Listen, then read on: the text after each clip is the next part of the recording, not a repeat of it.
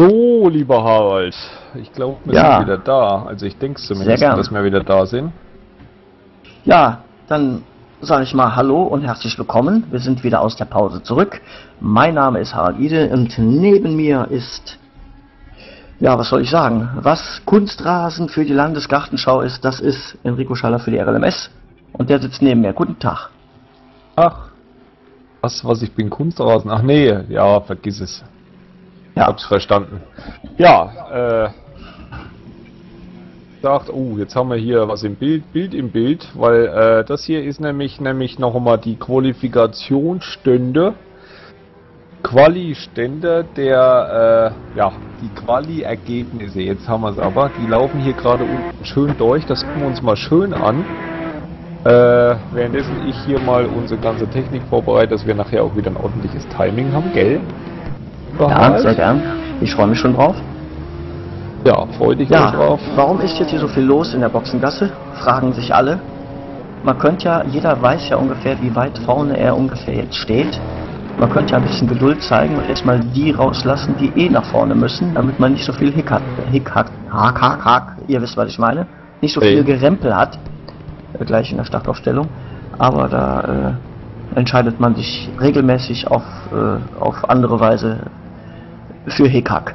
Dass man also erstmal die GTs in die Startaufstellung stellt und äh, anschließend können dann die LMPs sich zickzack da durchwursteln, um ihren Startplatz zu finden. Danke Leben. Ja, wieder Harald. Ups, äh, das wollte ich jetzt nicht, das war ich, Entschuldigung. Ja, äh, wie gesagt. Ja, da liegen schon Einzelteile. Ja, Äh, ja, ja, die liegen aber in der Box. Macht nix, die sind da wieder weggeräumt in der Zwischenzeit. Auch äh, die Jungs von ERS, die nämlich da aus Versehen ihre Einzelteile verloren haben, äh, die haben sie wieder angebaut. Hier sieht man jetzt noch einmal, wo wir denn uns heute überhaupt befinden. Also wie gesagt, wir sind in Monza. Das ist äh, Italien. Steht hier oben alles schön geschrieben. 1922 wurde die Strecke eröffnet. Streckenlänge 5,8 Kilometer knapp, 8 Kurven im Uhrzeigersinn 3 Stunden. Wir haben den siebten von 10 Läufen der diesjährigen RLMS und haben jetzt noch gut 4 Minuten Zeit. 4 Minuten. Äh, ja, 4 Minuten sind 4 Minuten. Dann geht's erstmal los mit der Stadt, äh, also nicht mit der Stadt, mit der Stadt nicht, nein, mit der Einführungsrunde. Äh, die Einführungsrunde ist das, was hier kommt noch ein Nachzügler. Waren alle gerade sehr schön langsam. Ähm, ich muss mir nochmal hier gerade jemanden raussuchen, dass wir auch wissen, wo wir sind. ja, wir haben zum Beispiel jetzt einen Neuankömmling und zwar das zweite Verpomoto GT1 Fahrzeug. War im Qualifying noch nicht dabei, da musste man noch arbeiten. Äh, da hat man sich kurzfristig entschlossen, das Setup sowas von umzudrehen, deswegen ist er erst jetzt auf der Strecke. So, und ich habe gerade gehört, wir haben hier eine mittelschwere Katastrophe, Komma while. weil nämlich der Herr Schmitz, Sebastian Schmidt vom Korn Limit geflogen war und Hm. jetzt, äh, wenn ich das richtig sehe, äh, nicht mehr auf dem Server ist. Ah. Ja, Ja, der wird auch fluchen, bis die Schwarte kracht. Ja, Das ich ist- sag auch mal, es hat was Gutes und was, äh, was Schlechtes. Zum einen hat sich's gelohnt, dass er sich nicht vorbereitet hat. Großartig durch seine Aber Punkte holen kriegt er jetzt auch nicht. Nee, also das ist ja und was ich auch noch sehe und da wird's mir schon wieder schlecht, ehrlich gesagt. Äh, der Benjamin Rösler hat ein Mismatch ausgelöst, was wiederum bedeutet, dass der Server mit ziemlicher Sicherheit schön eine an der Waffel hat. Und gleich die Boxenstopps eventuell nicht funktionieren. Das heißt, die Boxenstopps schon, aber die Fahrerwechsel nicht. Ja, ne, ich möchte bald vermuten, dass das vielleicht auch einer der Gründe ist, warum es den Schmitz vielleicht schon gecached hat. Ich weiß es nicht, weil der Schmitz hatte eigentlich, glaube ich, die Rennsession schon gesehen. Ja, bevor es getötet hat. Und ich weiß nicht, ob es nicht wirklich vielleicht sinnvoll ist. Ich weiß nicht mehr. Sind aber auch schon spät dran, ehrlich gesagt. Richtig. Ähm, eine Frage, die ich mir regelmäßig stelle, wenn sowas passiert, wie können denn Leute, die schon auf dem Server waren, ohne Mismatch beim nächsten drauf connecten, dann ein Mismatch äh, Das auslösen? ist eine gute Frage. Weil man kann ja nicht sagen, da war einer und hat einen bösen Mismatch ausgelöst, weil persönlich anders machen können, hätten die Leute ja auch nicht. Also da war Ja, das kommt darauf an. Das, also ich sage mal, du kannst allein so ein Mismatch auslösen, indem einer als Zuschauer draufkommt, der zum Beispiel keine aktuelle Installation hat und äh, dadurch die Speicheradressen sich ver verschieben und dadurch dann äh, irgendeiner auserwählt ist, der dann der Mismatch-Übeltäter ist. Also wie gesagt, es kann auch ein Zuschauer gewesen sein, der auf den Server gekommen ist und äh, also ich sage mal, die Wahrscheinlichkeit ist sogar ziemlich hoch, dass das ein Zuschauer war. Und diejenigen, die jetzt ein schlechtes Gewissen haben, ich würde mich einschläfern lassen. Ja. So, ich habe auch mittlerweile die Info bekommen von der Rennleitung. Die Rennleitung ist der Meinung, dass wir keinen Neustart machen. Gut, dann soll es so sein. Äh, ich hoffe nur, dass es nicht die Falschen heute erwischt. Und ich sage mal, wer ist richtig und wer ist falsch, das ist die zweite Frage. Ja. Äh, ja, okay, ich drücke mich nochmal anders aus. Ich hoffe, dass es niemanden heute erwischt, der beim Fahrerwechsel fliegt oder ähnliches. Ich sage mal, jedem, ich lege jedem nahe, wenn man den Fahrerwechsel heute vermeiden kann, vermeidet ihn und fahrt einfach die drei Stunden durch. Das wäre mein Tipp genauso gewesen. Drei Stunden kann man ja eigentlich auch problemlos durchfahren. Äh, hier hat man auch relativ hohe Ruhepausen in Monza, von daher sollte das doch gehen wie nichts. Also ich habe da ehrlich gesagt innerlich schon wieder mm, Gänsehaut mm, bis zum Milz. Ich weiß nicht, ich weiß nicht. Also, naja. Ja, wir hoffen auf R-Faktor 2, auf dass das das Gnadenbrot für Simracer wird. So, die Ampel schaltet. Jetzt bloß nicht losfahren. Es ist noch nicht der Start. Nicht nervös werden, es ist erst die Einführungsrunde. Und sie führen sich gegenseitig ein. Langsam geht's los. Der Wölke quant ein bisschen, macht aber nichts. Hat die Flutschi vergessen, ne? Richtig.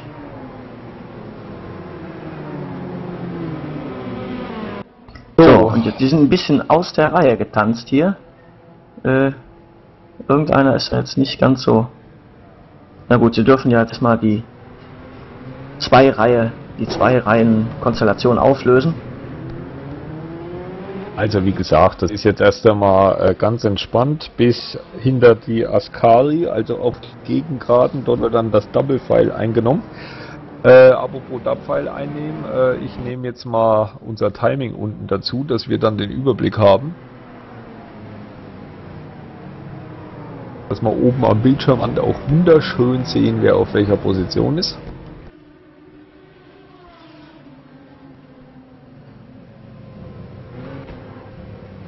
Das ist eine ganz exquisite Idee. Und das ist echt eine Herausforderung, jetzt in einem LMP die ganze Zeit mit 100 hier rumzueiern oder mit 120. Man hat das Gefühl, als wäre alles kaputt am Auto, als wird man auch, das geht gar nicht. Die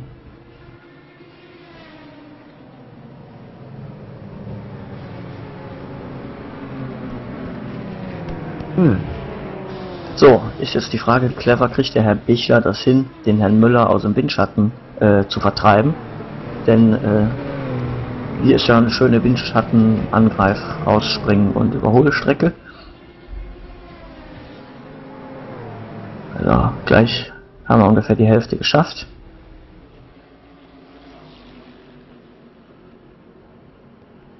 Jawohl, Hälfte müsste jetzt rum sein. Und jetzt geht's in die Variante Ascari.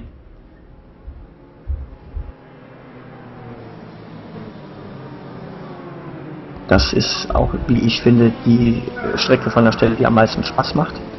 Macht ja noch Mut. Das ist ja auch die einzigste, der einzigste Streckenteil, der ein bisschen kurvig ist. Ja, schön. Zwei Reihen wieder angenommen. Er sieht aus müssen wir aufpassen. Ja, äh, ja, also das GD-Feld beginnt dann ab Platz 15. Das müssen wir uns merken. Ja, weil da müssen wir nämlich dann hinspringen. Wenn es denn soweit ist, hier schön, guck mal, oh, alles schön kompakt, ja, so kann das drei Stunden durchgehen, wegen mir. Also nicht so langsam, aber so kompakt. Ja, das, das kompakt wäre schön, das langsam wäre nicht so schön. Ja, also die ersten vier sehen sauber aus, danach haben sie ein bisschen Luft, ja. Aber Ich passt sagen, schon. ist Also alles das okay. ist, ist in Ordnung, das ist in Ordnung. Das ist ja doch so.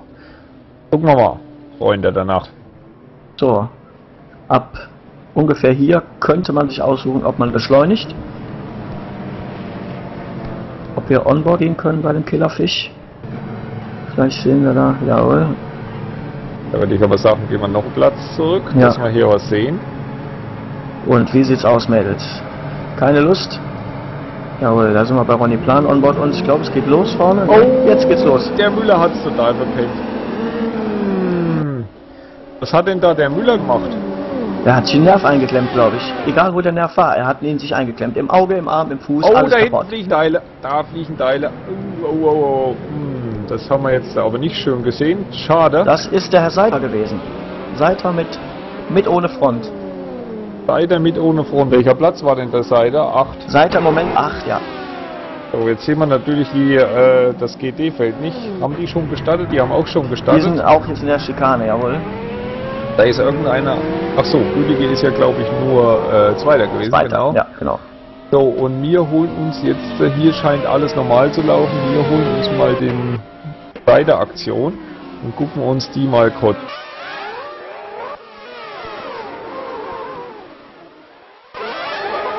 Was der da eigentlich Ja, gemacht hat. das kriegen wir, genau. Onboard ist eine super Sache. Er hat eigentlich Gebremst, einen gebremst, Abstand. gebremst und fährt Ah. da den VRS-Auto vom Bäcker, glaube ich, hinten voll auf. Ja. Ja. Ja, Also Glück, das dass war- der in der Spur bleibt. ja, da hat er ordentlich gepennt, wahrscheinlich zu lang in den Rückspiegel geguckt. Das ist meine Vermutung auch. Das verlockt hier ein Monster zum Spiegel gucken. Ja, gehen wir mal wieder an die Spitze. Äh, nein, wir gehen nicht an die Spitze, da ist noch nicht spannend, die sind so weit hier, das ist am spannendsten. Gut. Gucke ich mir auch gerne an. Da kommt uns schon der zurückbandagierte VRS-Wagen. Speedmaster. Oh, ach, ja, ei, ei, ei. Also das war ja jetzt immer... Aber leicht im Kies. Hat das Ja, das ist, Kappel ist jetzt äh, mit den Green Flashes äh, da im, im, Gebundle und der Du meinst im Geplänkel.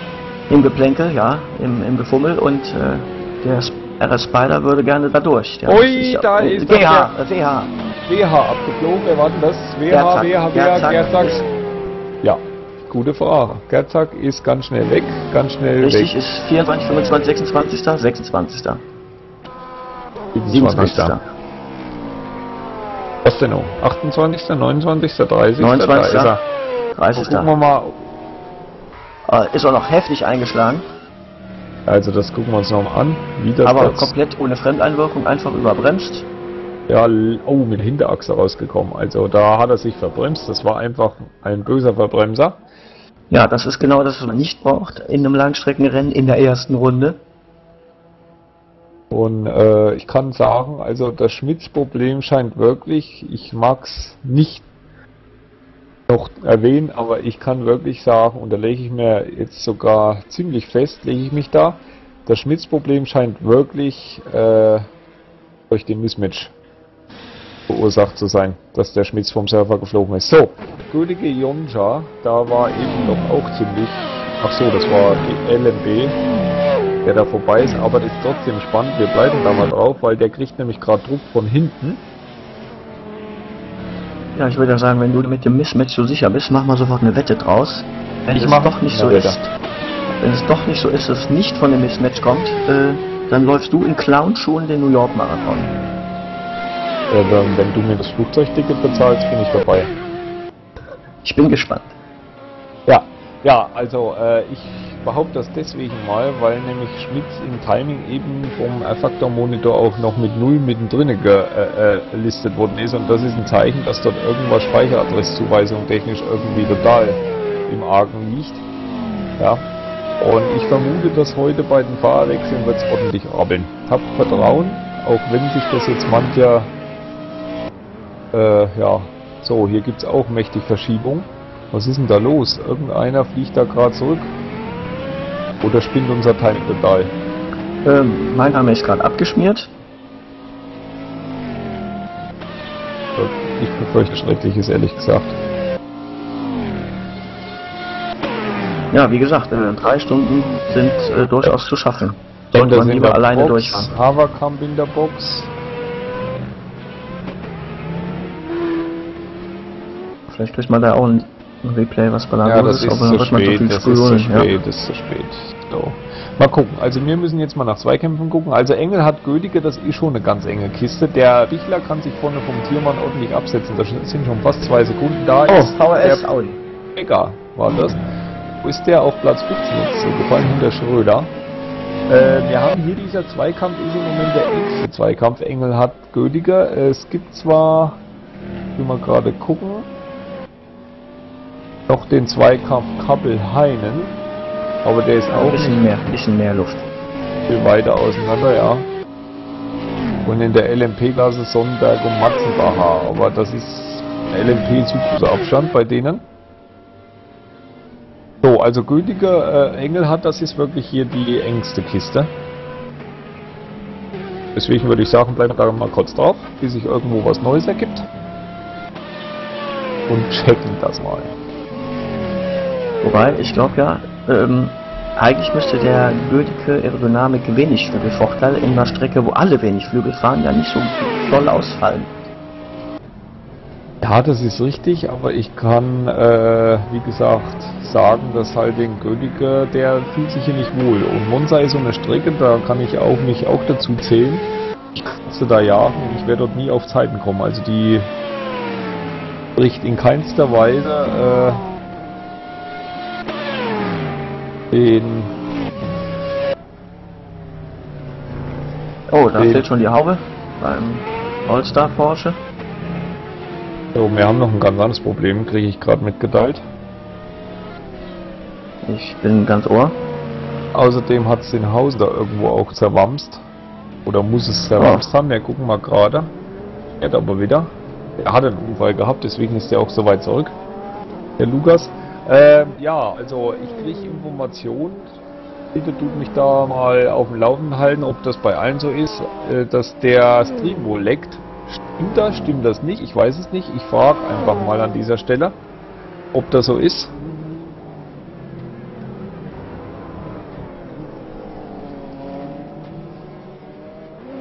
Bei jedem, wo so ist, der darf das ruhig gerne mal hier so schreiben. Ja, also ich kriege das jetzt mehrfach bestätigt. Dann äh, werde ich mal den Verantwortlichen dazu zur Rechenschaft ziehen. Weil ich habe da nämlich auch schon eine Vermutung, woran es liegt. Harald, ich würde sagen, ich übergebe an dieser Stelle an dich. Jawohl. Und mich mal ausklicken für ein paar Minuten. So sei es, ich bin gespannt. Ja, wir bleiben äh, natürlich in Bereitschaft. Wo hätten wir hier was? Wo ist es eng? Wo macht es Spaß?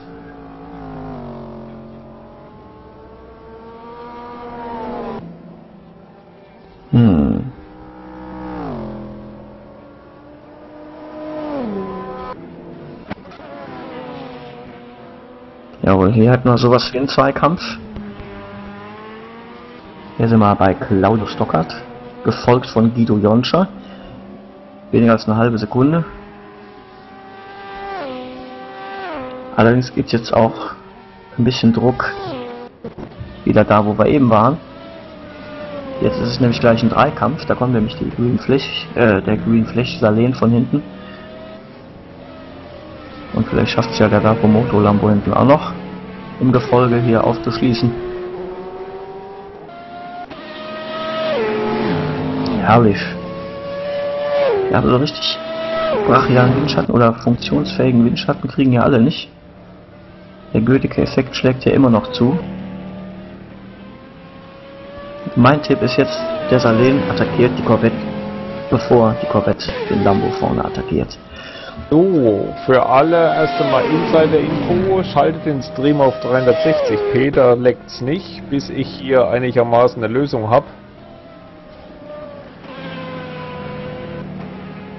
Also mit einer 360er Auflösung sozusagen. Und äh, ich kümmere mich mal darum, dass man da vielleicht nachlegen. Ist zwar dann nicht die geilste Qualität, aber man sieht flüssig und hört flüssig. Und dementsprechend, äh, ja, gucken wir erstmal so, bis das sich einigermaßen hier gelöst ist, das Problem.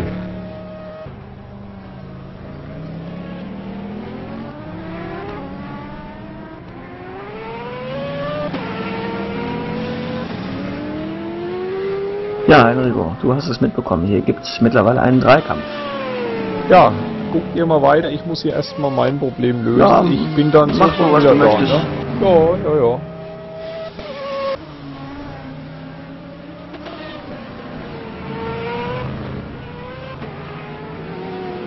Ja, in der GT2 gibt es überhaupt keine Abstände, die äh, zeigenswert wären. Da fahren sie alle für sich. Das ist wirklich das äh, Aufregendste, was wir im Moment hier haben. Oh, und da hinten ist der Herr Seiter etwas abseits gewesen. Der hat da die Ideallinie geringfügig verfehlt. Wenn ich es richtig sehe, ist da der Herr Gerzak wieder langsam unterwegs. Sieht zumindest so aus hier auf dem Timing. Gucken wir uns mal an. Nö. Hat er uns veräppelt. Das ist Rennspeed. Ja? Ja, das sieht normal aus. Gehen wir wieder zurück ins Geschehen. Nur psychischer, psychischer. Schnapp sie dir, Tiger.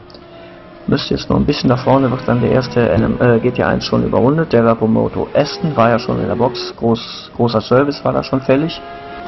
Den Tobias Haberkamp wird die jetzt alle vorbei winken, so hoffe ich. Ja, er fährt schon in Deckung. Ist jetzt alle vorbei. Bert Salen und RS Spider. Ui, das hätte auch schon über sowas von in die Hose gehen können. Da hätte man sich besser absprechen können. Hat aber dann noch im Rahmen der Möglichkeiten gut gegangen. Wir freuen uns. Ja, jetzt, Herr Hein, jetzt nimm den LMP2 Windschatten mit. Guck, dass du da wieder rankommst.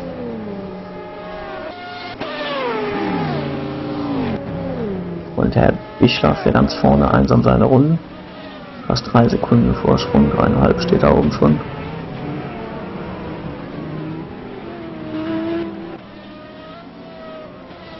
Ja, und jetzt geht das ganze wilde Runde los. Spitze kommt hier vorbei. Jawohl. Jetzt schrumpft der Abstand auch wieder. Jetzt sehen wir es. Da ist der Killerfisch. Peugeot schon. Mit Benjamin Tiermann. Jetzt kriegen wir einen Anfall anderen. Weil der schöne Vorsprung ist jetzt alles wieder kaputt.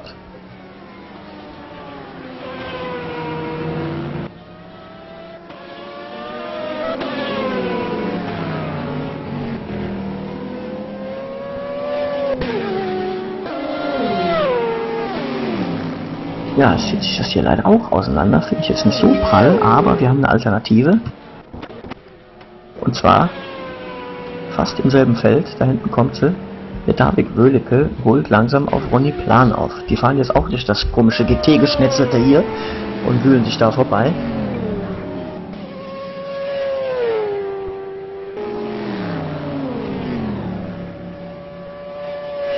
Machen sich alle fein durch die Zeichen bemerkbar. So, Nerven behalten. Ähm, War immer einen am anderen. Da fährt der Salien fast im LMP hinten rein. Sieht man auch selten. Jetzt hat sich Oh. was Schönes GTDL Harald, auseinandergezogen. Ja, bitteschön. Wir machen jetzt einen ganz kurzen Break. Wir haben vielleicht eine Lösung des, zu dem Ganzen und dass dann jeder wieder schön in HD gucken kann. Äh, wir müssen da mal gerade den Server wechseln. Deswegen einfach kurz die Füße stillhalten. Wir sind gleich bei euch.